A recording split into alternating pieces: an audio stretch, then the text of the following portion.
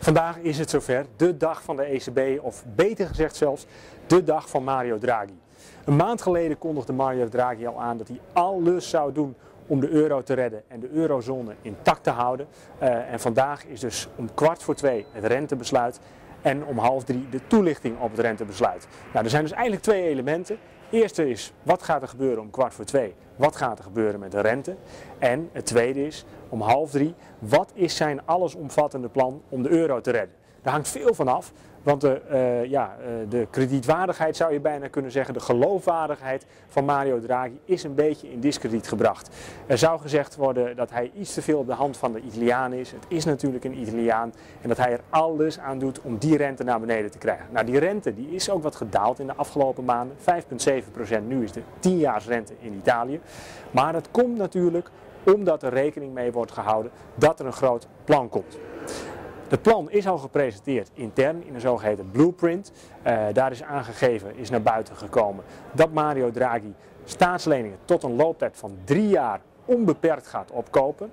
Wel wordt er gezegd dat landen van wie die staatsleningen worden opgekocht ook aan bepaalde voorwaarden moeten voldoen. Er is nog niet bekend wat als ze niet aan die voorwaarden voldoen, of dan het opkopen stopt, of dat ze misschien zelfs uit de eurozone kunnen worden gezet.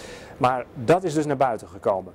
Van de 17 eurolanden zijn er 16 akkoord, eentje nog niet, want de president van de Duitse bank, uh, de Duitse centrale bank, die is tegen. Dus 16 stemmen voor, één stem tegen. En laten dat nu net de Duitsers zijn, die natuurlijk veel moeten financieren van de hoge rentes in uh, de zuidelijke landen.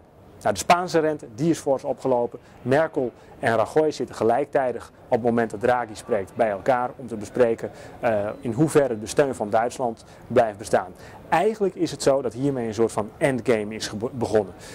Het betekent dat in de komende maanden bekend zal worden of de eurozone intact blijft, of de euro-rentes gaan dalen, of de europrijs zal stijgen, of dat er op een of andere manier toch ja, een soort van break-up van de euro gaat komen.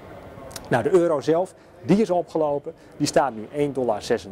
Dus de markt heeft er vertrouwen in, want de rentes zijn gedaald. De euro is iets gestegen. Maar wat Mario Draghi vanmiddag zal laten zien, hoe groot is dat plan, dat is belangrijk. Daarnaast moet je letten op, uh, van, worden er bepaalde niveaus aangegeven? Wat zijn zijn streefniveaus voor die zuidelijke landen? Uh, en ja, dus heel belangrijk wat hij in de toespraak zal zeggen over de eisen en welke voorwaarden eraan wordt, voor, moet worden voldaan. Hebben we ook nog kwart voor twee. Dan is het rentebesluit, nu 0,75.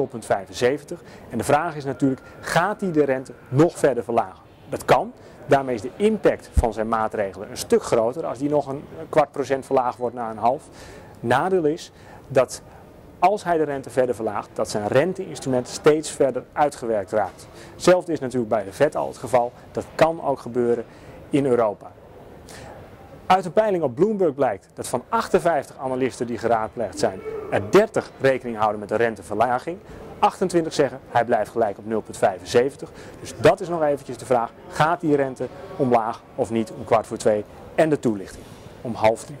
De vraag is natuurlijk, wat doe je hier als belegger mee en hoe gaan de markten reageren? Kijken naar de AX, die deed al weken nauwelijks iets. Kwam niet van zijn plaats, ook niet uh, nadat uh, Ben Bernanke in Jackson Hole sprak, want die liet eigenlijk niks los. Maar wat er vanmiddag gezegd gaat worden, dat bepaalt de stemming op de beurzen voor het najaar. Is het plan overtuigend, dan kunnen we echt wel een flinke stijging verwachten. 3,37, daar ligt nog een kleine technische horde, maar aan de andere zijde, als er geen renteverlaging komt, als, als niet weet te overtuigen, ja, dan wordt het ook wel een heel moeilijk verhaal en zal er steeds meer gespeculeerd worden op een uiteenvallen van de eurozone. Met het eigenlijk geld pompen in de economie uh, denken we wel dat er een overaanbod is aan geld bij RBS. Um, en dat betekent ook dus dat de rentes laag zullen blijven. Lower for longer, dat is het credo waarvanuit wij handelen. Dat betekent als je in obligaties zit, houdt de looptijd kort. En de aandelenmarkt die biedt simpelweg meer perspectief voor de lange termijn belegger.